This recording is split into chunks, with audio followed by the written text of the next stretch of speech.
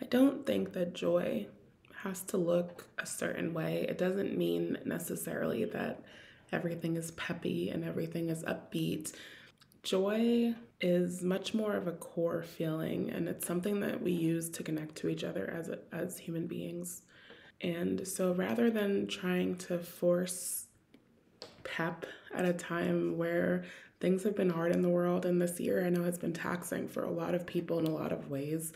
I think that right now, the way that I would like to call in joy is as gratitude because in certain ways and over the last month I've seen people give so generously to our cause and that has looked like a $25 donation from somebody who spared that. That was what they had to give. It looks like somebody being moved by others happiness and joy wanting to spread that even further. It looks like somebody who cares about a loved one and has given a donation because that's what they have to give. Just the beauty of doing what we can for each other because we want to. I think this has been a challenging year for most people and on a world level as well. And joy is a scarce commodity um, when we're living in times like this. I think that the important thing about joy, especially as a form of resistance, is that it doesn't have to be polished. It doesn't have to be perfect. It doesn't have to be shiny all the time because joy is something that's authentic and it can be in small, meaningful ways. It can be loud and bold and boisterous. It can be taking up space and it can be personal.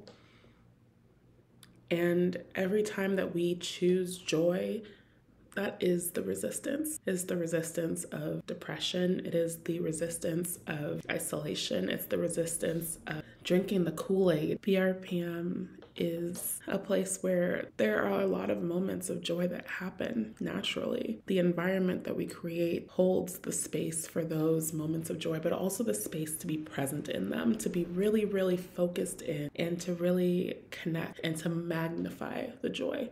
So, Thank you for everybody who has given. And if you find it in your hearts and in your pockets after the holiday season to donate, we would appreciate it so much. And there's always so many other ways to engage. So if you watch the videos and if you are reading the newsletters, if you're participating in our programs, if you are spreading the word, we're so grateful for you.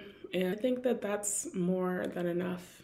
So thank you for sharing your joy with us and continue to engage.